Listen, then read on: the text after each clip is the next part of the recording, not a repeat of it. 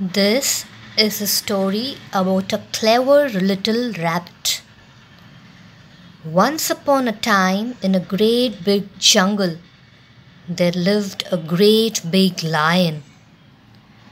He had great big paws and very sharp claws, looking very scary, isn't it?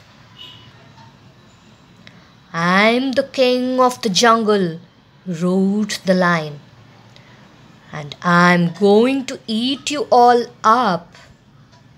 No, cried the jungle animals. You're all small and weak, said the lion. You can't stop me. Don't worry, said a clever little rabbit. I have a plan. The next day, all the animals hid from the lion. The lion searched for all his prey, but he couldn't find any. Where are you all? roared the lion. I want to eat you. Here I am, said the clever rabbit. You can eat me. Do you know what the little rabbit said? I tried to come before, but a great big lion stopped me. I am the only lion in the jungle, roared the big lion. Oh no, you're not, said the little rabbit. This lion has bigger paws and sharper claws. Show me this other lion. I'll eat him up and then I'll eat you, said the lion angrily.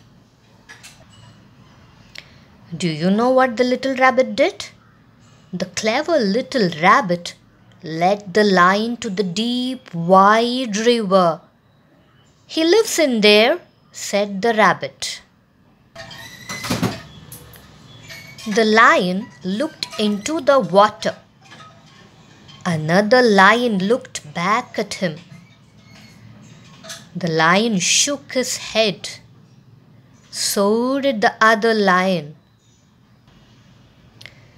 The big, huge lion leaped at the lion in the water without thinking at all and was swept away by the water. At last, cried the clever little rabbit, we're all safe. All the jungle animals came rushing out. Help! called the lion. Save me! We can't, said the clever little rabbit. We're all small and weak. The lion let out one last roar and was never seen again. Children, you have to be clever and witty in your life to deal with huge problems like the lion.